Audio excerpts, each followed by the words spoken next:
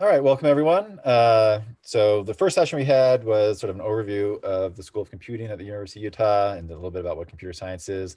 And in fact, the following session after this will be the same.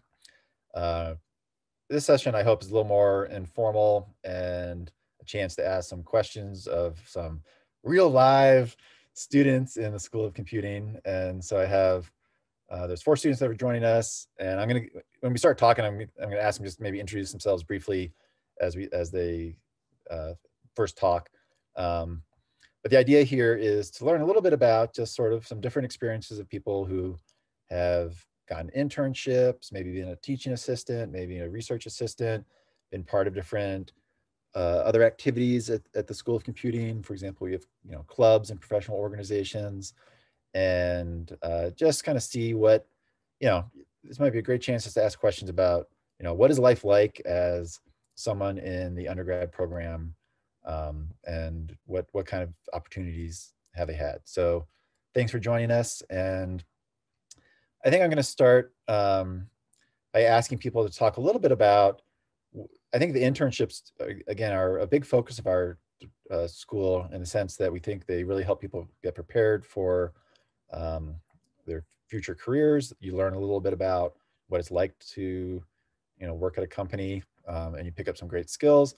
And you can also get paid you know pretty reasonably well for uh, a summer job kind of thing. So we haven't really unfortunately figured out a good way to kind of like order people or or so i'm going to just ask um, some of our panelists just start jumping in and saying maybe just talk about where they first started doing internships what the process was like and then what the actual experience was like a, a little bit. So take it away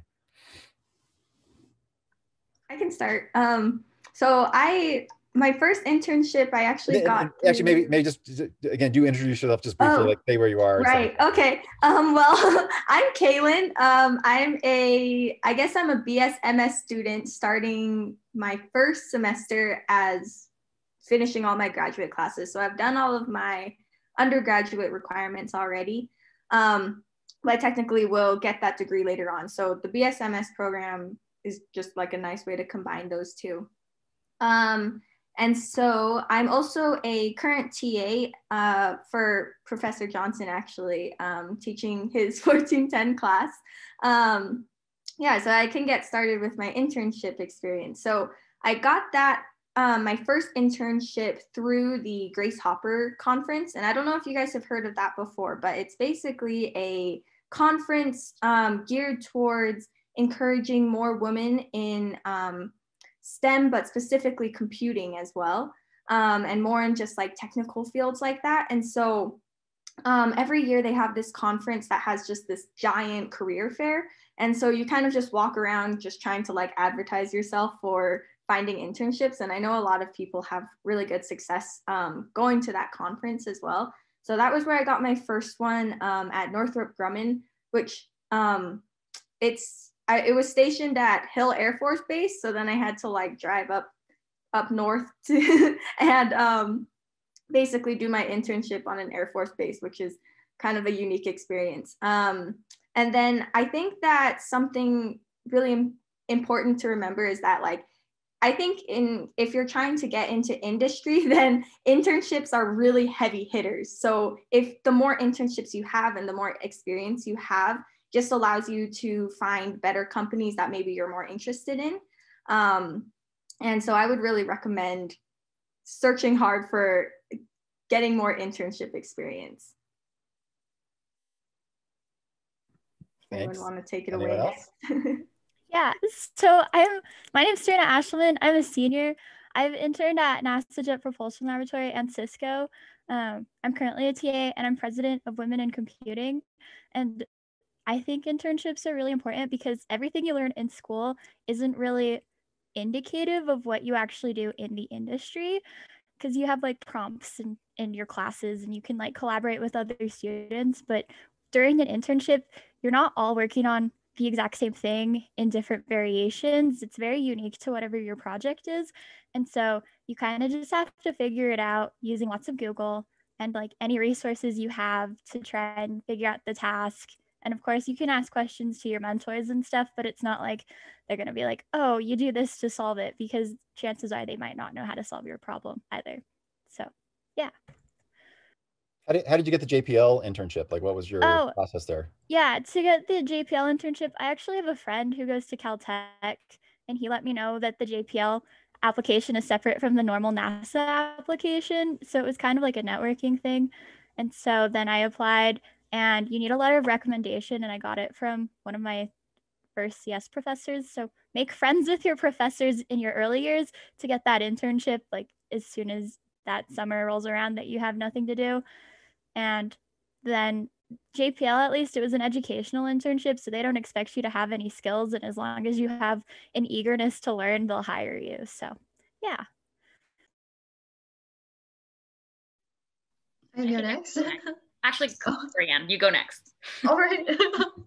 okay, so um, I'm Corianne. Um, most people call me Corey, which is typically typically just what I go by. I use she, her, hers pronouns, and I'm a fourth year.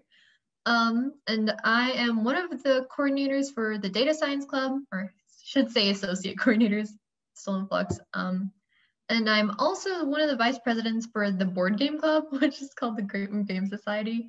Um, and so far, I've had two internships. Uh, one of them was for this nonprofit called Hopeful Science. And the way I got that was I started doing research with a professor. And at the end of the semester, he was like, Hey, do you want to continue to work with me over the summer?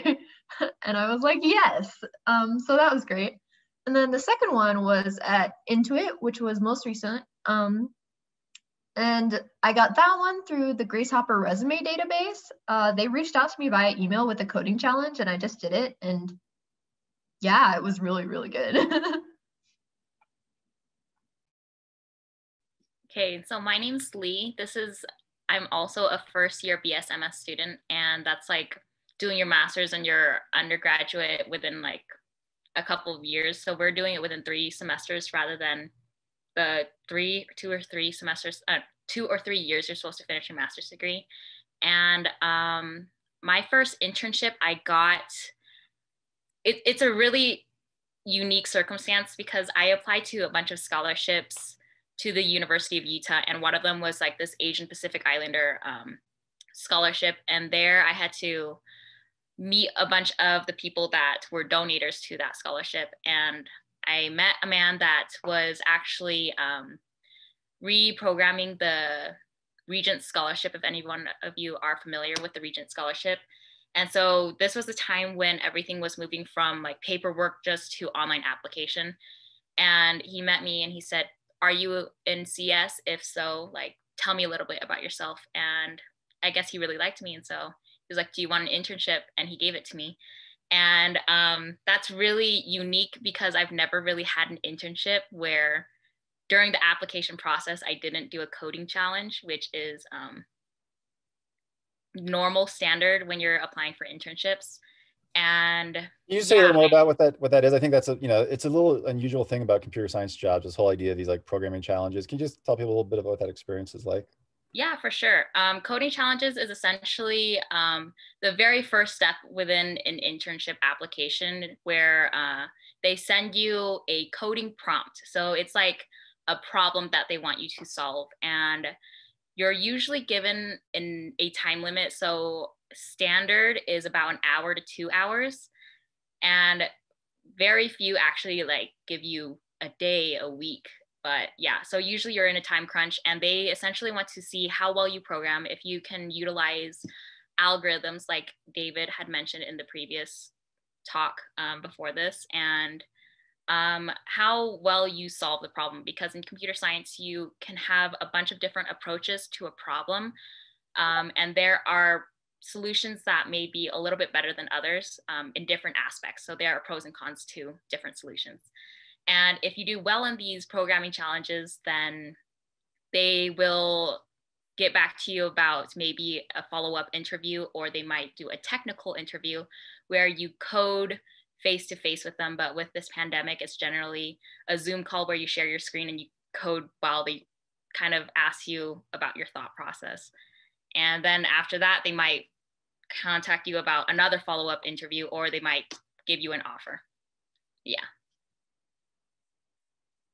then where was your most recent um, internship? I thought you had one this last summer. Oh, yeah. I interned for Recursion Pharmaceuticals. And the year before that, I had a research internship at Vanderbilt University, which was nice. So sounds like a whole bunch of great experiences from people. Um, I will say maybe that a lot of their ways of getting internships were a little unusual. Uh, I think the more common way often is like their job, these job fairs, uh, both our CS specific one and also there's like a STEM job fair and also just a general job fair at the U. And a lot of companies come and the process there is you often just go around with like, you know, resumes and stuff and stand in line and talk to people and get a little 10 minute starter interview or something. And then hopefully a couple of them follow up with a more uh, formal process. Um, so there's a lot of different ways to yeah, get involved. Um, but I think the the important thing is that a lot of people take advantage of these these things and uh, you know uh, do land interesting opportunities even you know their second year third year kind of in the cs program um, and i will say a couple years ago i i interviewed my third year class or third semester class about internships and asked about just like pay scales right and at the time a couple years ago that i remember there people were saying they were sort of their summer, you know, summer internship pay was like 18 to $35 an hour. Um, and I think, you know, I've, I've heard the high end go a little higher these days. You know, the big companies on the West Coast will often also chip in housing costs to live in San Francisco for the summer kind of stuff, you know, an extra 10K for that. And so anyway, you can, you know, it's uh it's fun to get involved in, in this, but also it's not an internship. It's not like a standard internship where you're like uh, not paid anything and fetching coffee for people. You're actually doing real things and getting paid some some reasonable money to start. Um, so again, if you're interested in coming to you or anywhere really, I'd still encourage you to uh, do an internship. Um, I want to talk about research stuff a little. Oh, go ahead. Yeah. Someone messaged me um, privately on the chat, and sorry, I'm not going to name you because I feel like you um, wanted to be private for a reason but they asked if I learned how to code in high school or college. And I feel like this is a good question for everyone that's here. Um, personally, for me, I started off in computer, no, not computer science. I started off as a biochem major and I got halfway through the major when I decided to switch. And um, I had no coding experience prior to that. And I really struggled throughout the first few courses, but you learn a lot and I'm not just trying to do a little plug for the School of Computing at the University of Utah, but um, it's really, really freaking hard the first couple of classes because we learn things called programming languages and um, it's essentially like learning a new language and it's really really hard it's a huge learning curve but i know it sucks to hear but you get better the more that you do it and so um, yeah, I just, I wasn't the best student. I still don't think I am, but I did enough where I learned a lot. And you're going to have to learn to not like, you're going to realize early on that you're not going to be the best at it. Um, because I remember all throughout high school, I was a pretty decent student. Like, I got a pretty high ACT, I got like scholarships. And then when I entered into college, I wasn't at the top of the food chain anymore. I was at, I felt like I was at the bottom. And so you experiencing, you experience things like the imposter syndrome, which I think some of you should talk about too. And yeah, just throwing that out there, I had no, no coding experience prior to that. Yeah, I, I do want to say, you know, like, um, there there is a reason that companies want to pay people hundred thousand dollars a year to work there. And, and that is fundamentally computer science has a lot of skills involved with it. And those skills don't have to mean you're a genius. It just means you have to pick up those skills, right? You have to have some knowledge here and, and be effective at this job. And our, our, our goal in the undergrad program is to prepare you for that kind of stuff, which means that there is some hard work involved. I mean, if you're learning guitar, you know, you have to supposed to put in hours and hours of practice before you can do anything reasonably well. And same thing with computer science. It just takes a lot of practice. And you know, again, I'm a PhD professor in computer science, plenty of times where I'm working on some problem and you know i'm stumped for a day i'm staying up till 2 a.m cursing you know like ah, i can't i need to get this work in and then you know you have some insight and and you you move on but those are the skills you learn you have to learn persistence and you have to learn how to be very careful about investigating your program and tracking down problems and things like that and it happens to everyone there is some suffering involved those you know when you're just stuck on some problem and you can't figure it out it's it's enormously frustrating but you have to learn to take a deep breath and somehow move past it. Um, I am curious if anyone can add to the chat, like who who is doesn't really know anything about computer science or programming and who's had some sort of high school experience. I'm just kind of kind of curious about that. If you can type something in, in chat, see what your experience is or whether you haven't really done anything.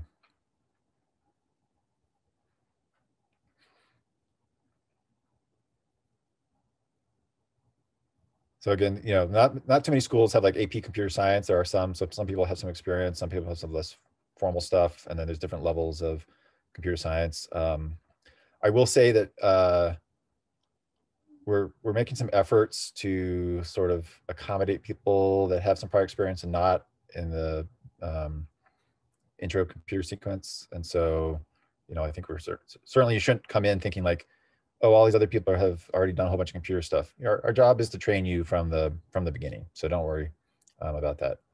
Um, actually, to add on to yeah. this, so I came in high school. I didn't have any programming experience, and I went into college with the intent of becoming an econ major. I'm double majoring, but like somewhere during one of my econ courses, I was like, the computers can do economics better than an economist can. So I thought I would take a couple programming classes just for funsies. And it was really interesting and really fun to do. And the first CS class, which is 1410 that I took, it was kind of daunting to be there because one, I am female identifying. And so there are very few females in those classes, unfortunately. But like, so I'm kind of already intimidated. But then on top of that, there are students who have high school years of experience, as well as like maybe they've been coding since they were eight. And they ask these really intense questions. And I'm just like, whoa, what?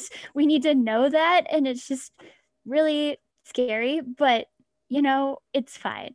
Because if you ask some other people, maybe not the kids who are raising their hands and asking these really intense questions, like you're all going, what did they just ask? And it's all kind of like very nice. And if you continue through, it kind of gets easier, especially if you continue to practice. And the money during an internship reminds you that it's worth it. So, yeah. Let, me, let me say also that uh, from a professor point of view, those people that are asking those what seem like mysterious technical questions, half the time they they have no idea what they're babbling about and they're totally wrong anyway. So uh, it's okay that it doesn't make any sense. I, I do have some questions. There's one of um, do AP classes help in this major?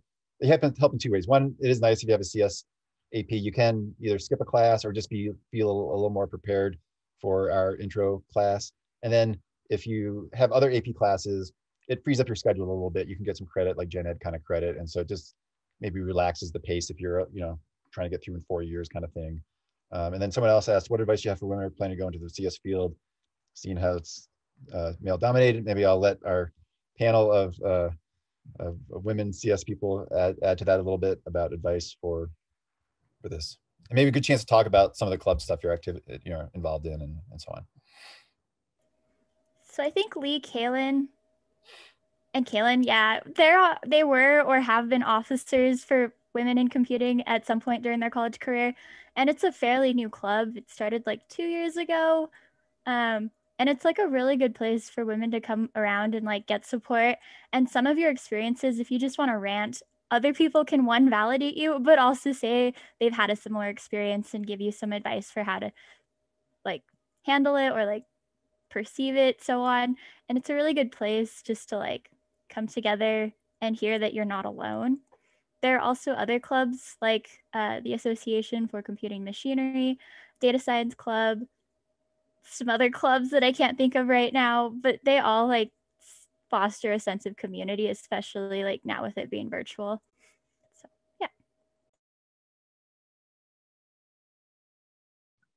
Um, I think that with um, being a woman in computing, like especially because uh, there are less women in your field, and you'll see this in your classes as well.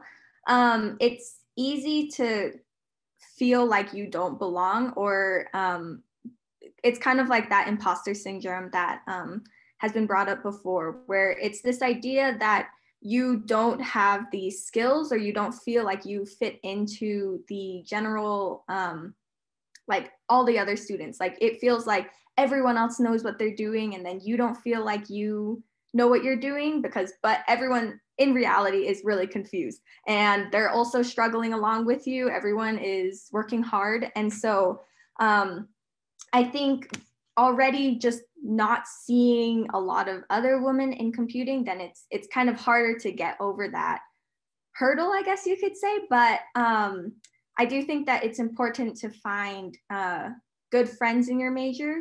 Not only women but also like um, I guess you could call them allies as well. That people that are going to support you and people that are going to um, help you succeed. Maybe I should ask, you know, I think that's some great advice about finding like, you know, study groups and friends and a, and a network. Um, and, and some of you sort of talking a little bit about the, you know, their first year challenges. And I, am just curious if any of you have any other advice for how to, uh, how to succeed, you know, when you first start off in college, I guess. I think that's, uh, it would be nice if you had any insights there. Every day for my first week of school, I sat by a new person and introduced myself and then decided who I wanted to be friends with the following weeks. And some of us are still friends. So, yeah. Yeah. Um, the first couple of CS classes that I took, um, I met a group of students, and it became this huge group of just students that um, needed help in a class. And I know to this day they still talk and they hang out. And um, yeah, it's CS is really hard, and doing it alone is even harder unless you're a mad genius. Um, but it's really helpful to have friends that can help you along because Kaylin and I are like really, really tight but um, we we've gone through most of our undergrad together, and we were even taking um, grad school classes together. And it's really nice because she helps me out. We help each other out, and a lot of upper division classes have projects as assignments where you work with another individual, and they do this so that you can get an idea of what it's actually like to work in partners. And you might think that you have an idea because you've done it a lot in high school, but you really don't um, because in CS, you either have a decent partner or your partner will ride on your coattails. And you will really see that in computer science because if they don't pull their weight, you see it. So make friends. Yeah, and don't be scared to reach out either because everyone is coming from like a new high school. Like nobody really knows each other. These classes are massive. So like everyone wants to be making friends and so don't be scared to reach out and find new connections. And and don't be scared to reach out to the faculty too right? I mean uh, and again we're, we're there to try to help you and the teaching assistants and and uh, the faculty are are you know want you to su succeed. We're not we don't have you know there these I, this idea of like weed out classes. We're not really trying to design weed out classes.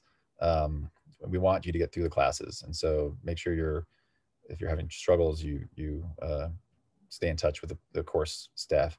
Maybe speaking about that, so one other aspect are these internal, besides out, external internships, are these internal roles in the uh, School of Computing, and they're primarily teaching assistants and research assistants. And so I know a lot of you had some experience in those directions, and maybe you could talk about that a little bit, both sort of why you think that's a helpful thing and sort of what it's like to be part of that community.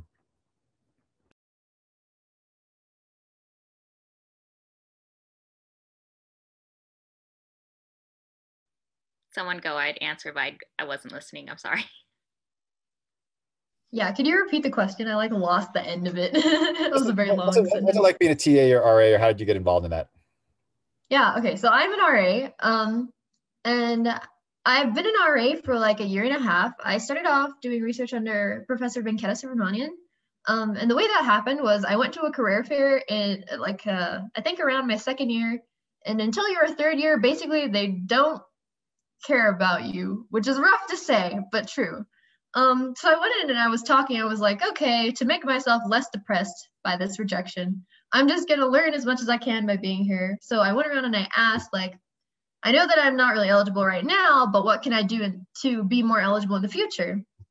Um, and something that a lot of people recommended to me was like, go to research and get as many projects as you can under your belt. So um, before this, in one of my lectures, uh, Professor Venkatasubramanian came and he talked about ethics and his research, and I was really interested in that. So I remembered this, and then I went to him, I sent him an email, and I was like, hey, I'm really interested in this thing that you talked about. Is there any chance I could do research with you? He was like, yes, cool. and then I did. Um, and so that's how I got into that. And then uh, at a later date, I realized that I was really interested in computing education research, and I brought that up with Professor Venkatasubramanian. And then he basically reached out and introduced me to Dr. Eliane Wiese, who is the person I'm doing research under now. So that was kind of like a, you know, networking thing. yeah, so that's that's how that went.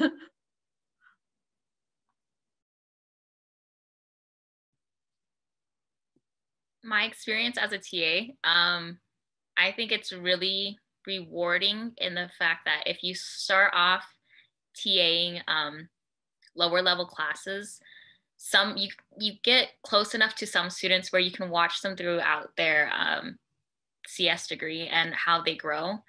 And I really enjoyed TAing classes that I've already taken because it gives you a um, a deeper understanding of what you learned during the course because um, even though I'm a grad student and I'm TAing for David Johnson too, um, he's teaching 1410, which is pretty much the entry level course like you first take when you start CS.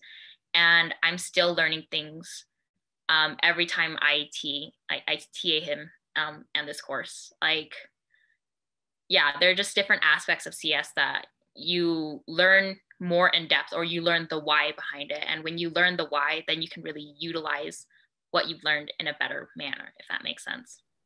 And, let me just th- throw in there that, you know, we, we do start getting undergrad TAs after their first two courses, the CS 1410, 2420, uh, basically when they're ready to start entering the major. And so they've only been doing, doing a year of programming. And like, it's, it's really great for me when they're one of my students from the year before, now they're a TA and they're just like, wow, this was so hard, you know, nine months ago and now like it's not so bad. You know like they they realize how much they've progressed in a year of just getting practice and taking classes. Like what was so hard then they're now able to kind of teach and explain and i think that's a wonderful um, thing. Um, there's a question on the course map for bs yeah you should just go look, look online www.cs.utah.edu looking at the undergrad um, stuff. Basically there's a core sequence and then electives and things like that. Um, it's a pretty standard set up. You know, we don't have that much time. Maybe, you know, we've been talking a lot. This is a great time to ask more questions. So why don't you, let's, let's see if we have a few questions we can answer before we wrap up here from, from our audience. I was going to ask David, can you elaborate on your coding summer camp thing? Because someone asked how you can get like outside experience. Um, oh yeah, so what, you know, one thing um, that I think is fun for us is we, I, I run a, a called the Great Camps. It's a programming camps, and there's different activities for either upper elementary, middle school, or high school students. So we have like some Python high school camps, and one is great to see some people taking those camps and then sometimes coming to the U, and, and obviously having enjoyed that experience. But also, um, I hire a number of, of students to work in there, and again, I think that's a, a valuable thing where, again, you're kind of testing your knowledge of of what of how this stuff works and, and trying to explain it to other people. And, and it's a it's a great sort of starter way to get prepared to, to be a teaching assistant or um, or to just kind of get you know do something where you're maybe not quite ready for an internship. So there are opportunities still have technical stuff going on. Um, question: How many hours of homework do you have each week? Well, you know, let me just before I let them answer that. There's a big range, right? Like uh, some projects you go through pretty fast, and then some you get that stuck, and you're like all night working on it. And so it's really that's the cruel thing about it because if you're writing an essay in English, you can kind of just get an essay, and it's either good or bad, and you turn it in. In computer science, there's this thing where you really want it to be right, and so if you get stuck, you really can add the hours. Um, but I'll I'll let I'll close my cover my ears and let the other people yeah, I think it's largely dependent on the class, and you kind of just have to feel this out by talking to people and hearing how it is. But um, like 2420 is kind of infamous for having like super long assignments for the level that it's at. Uh, 4400, which is like a systems class, is also pretty infamous. Like we're working on writing this program called Malloc right now. Um, and we've had like at least three weeks to do it and then we got a week extension and then we got like another week extension because like hardly anyone had finished it and we had that long to work on it. Um but other classes are kind of like slow like if you take uh, engineering probability and statistics for the cs courses those assignments are usually a little bit shorter or it just depends but yeah it widely varies and definitely ask people before you take a class and like which professor is teaching also tends to have an effect on that. Let me say for like CS 1410, the CS1 class, uh, you sort of have vaguely weekly assignments. And in some surveys we've done, people report having spend sort of you know, the middle two thirds of people spend between five and 15 hours a week on, on assignments there. Um, so again, a big range, but, but not an inconsequential amount of time. Um, some assignments they last for like weeks, and some are even the entire semester. Um, usually for me, I don't want to sound like, oh, I stay up super late to do homework because that, I'm not proud of it. It like it really makes me cranky, and college really takes a toll on you. But um, I'm taking three CS courses, and I generally stay up until two most nights um, doing homework and I do homework all day. Like my day starts at nine and then it ends at two. And that's generally me doing homework or attending classes or um, holding office hours and then eating in between or during. so the question about work part-time, I will say a lot of University of Utah students either work um, in the department or work external to the department there's certainly a fair number of students that have like, you know, families and like real jobs of some form. Um, but like the TA jobs range from 10 to 20 hours a week. So that's a significant amount of time also in that kind of thing. Uh, the question, what kind of careers can come from a CS degree? Um, you know, there's a there's a wide range of stuff here, right? So the, the standard job is some sort of software developer. You're working at a company like Lucid. You're making some sort of, you know, uh, application of some kind. But there's a whole huge range of of jobs that use a whole bunch of different skills.